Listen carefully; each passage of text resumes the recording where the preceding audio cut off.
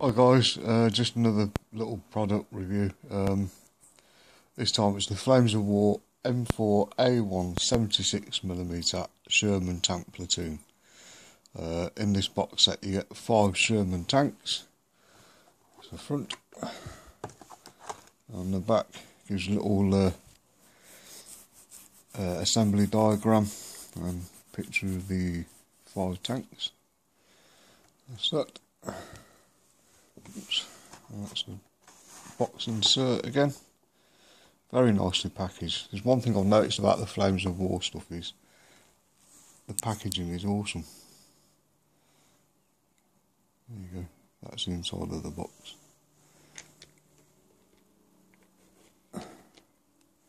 Again, very nicely cast uh, bodies and turrets. One thing I have noticed about the Flames of War stuff so far is the lack of flash on the resin. I mean, I think they're already pre-washed. What's on the bottom of the turrets, they've been sanded.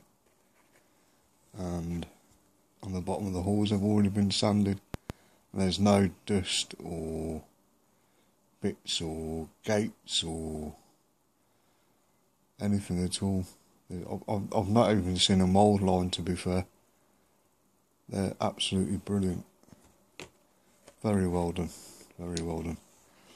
Uh, this set comes with plastic parts for the Shermans. So there's the track assemblies. And you've got the various hatches.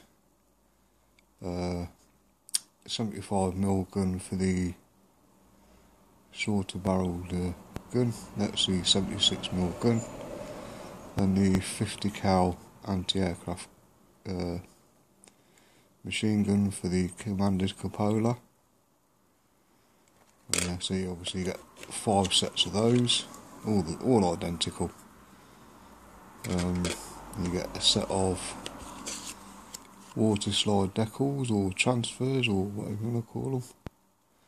Various stars and tank numbers and names and so on. Very nice. And then uh, somewhere are the metal components. Are they in there? Sorry about this, guys.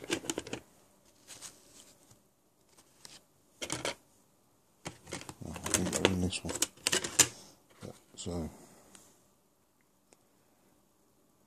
half a tank commander bloke points me to the map. His tank helmet on and uh, yeah, pair of goggles. I if you guys can make that out, but yeah, very nicely done. There's metal bits. Oops. Lots of stowage, blanket rolls, spare wheels, helmets, tank tracks. All for sticking on your tanks. You get plenty of stowage with these, which is really good. I like that. And you get some jerry cans,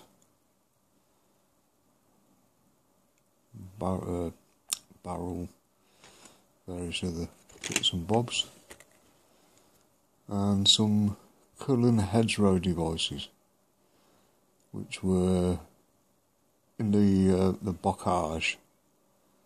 The tanks couldn't actually break through the hedges so what they did, they cut up a load of the girders off the beaches on uh, Normandy and stuck these to the front of the tanks and drove through the hedges with them, which is brilliant. So you get five of those, more stowage and more little tank commanders, the same guy again.